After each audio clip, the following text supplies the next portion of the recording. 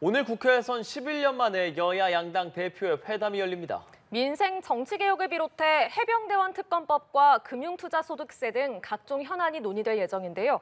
관련 내용 국회 취재기자 연결해 알아봅니다. 신현정 기자. 네, 국회입니다. 한동훈 국민의힘 대표와 이재명 더불어민주당 대표 간 회담은 오늘 오후 2시부터 시작됩니다.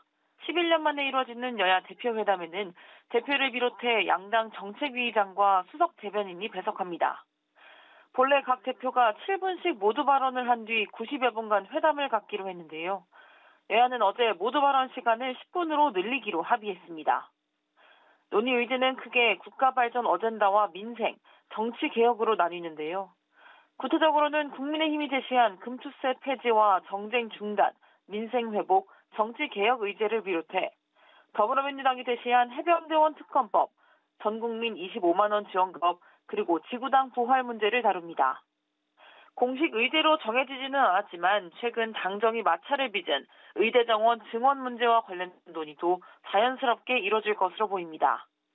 여야는 회담이 끝나면 공동 합의문을 발표할 것으로 전해졌는데요. 어떤 내용이 담길지 주목됩니다. 네, 문재인 전 대통령의 전 사유와 관련한 검찰 수사를 두고는 여야 어떤 입장인가요?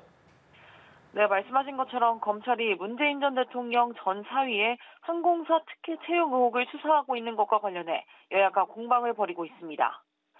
문 전 대통령의 딸 문다혜 씨 주거지를 압수수색한 것을 두고 국민의힘은 법 앞에 평등을 보여줄 수 있는 계기가 될 것이라고 밝혔습니다. 정광재 국민의힘 대변인은 어제 특정인에게만 유리한 법 집행은 공정한 사회를 추구하는 윤석열 정부에서는 있을 수 없는 일이라며 국민적 의혹이 있으면 누구나 수사에서 자유로울 수 없다고 말했습니다.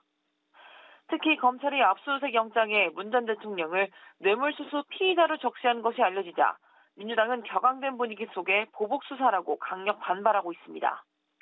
황정화 대변인은 법과 정의에 대한 조롱이라며 윤석열 정권이 전임 대통령 망신 주기, 야당 정치 보복 수사로 국면을 전환할 수 있다고 여긴다면 착각도 유분수라고 비판했습니다.